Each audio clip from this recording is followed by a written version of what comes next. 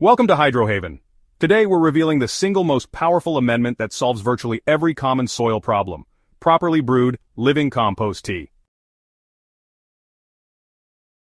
This isn't about chasing trendy products or juggling complicated routines, it's about the one proven solution that professional growers have trusted for generations. Let's get straight into it. Living compost tea is more than just plant food, it's a complete ecosystem reset for your soil. Where fertilizers merely patch nutrient deficiencies, compost tea works at the root of the problem by rebuilding the soil's microbial foundation. From compacted clay and nutrient-depleted sand to poor drainage, chemical toxicity and persistent disease pressure, compost tea has the power to correct them all. The secret lies in the living microbial communities it introduces, bacteria, fungi, protozoa and more, that perform critical interdependent roles in soil health. Healthy soil is alive. It teems with billions of microorganisms that form intricate webs of life, breaking down organic matter, cycling nutrients, creating structure, suppressing disease, and producing growth-stimulating compounds. Modern practices, tilling, synthetic fertilizers, fungicides have devastated these essential communities. Compost tea restores them, allowing your soil to function as nature intended. Studies show that properly brewed tea can increase beneficial microbe populations by over 10,000 times in just 24 hours. These microbes physically transform your soil. Bacteria excrete sticky glues that bind particles into aggregates, improving water retention and aeration. Fungi weave through the soil, forming networks that hold structure, enhance nutrient flow, and suppress pathogens.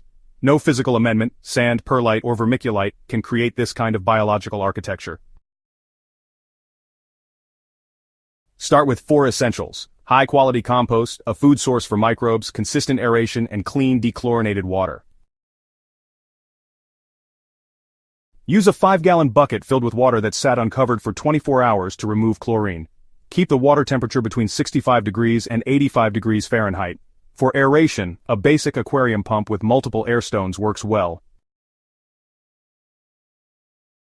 Place 2 to 3 cups of rich earthy-smelling compost into a mesh bag and suspend it in the water. Add 2 tablespoons of unsulfured blackstrap molasses to feed bacteria. For a fungal-leaning brew, ideal for perennials and trees, also add 1 tablespoon of humic acid and a handful of rolled oats. Let the mixture brew with constant aeration for 24 to 36 hours. You'll know it's ready when it has a light brown color, an earthy aroma, and a light foam on top, signs of thriving microbial activity. Use the tea within 4 hours of stopping aeration. For soil application, dilute it 1 to 3 with dechlorinated water. For foliar spraying, use a 1 to 5 dilution. Apply during early morning or late afternoon to protect microbes from UV damage. In distressed gardens, apply weekly for the first month. For ongoing maintenance, apply monthly. Each gallon of diluted tea covers about 50 square feet. Apply directly to the root zone using a watering can without a rose attachment to avoid clogs. Improvements begin immediately, stronger growth, richer foliage. But the most profound changes come with time. Clay soils gradually loosen and become more workable. Sandy soils retain more moisture and nutrients. Microbes don't just help plants, they build lasting soil structure and fertility. If your soil is heavy clay, focus on fungal-dominant brews. Extend the brewing time to 36 hours and include extra fungal foods like humic acid and oatmeal.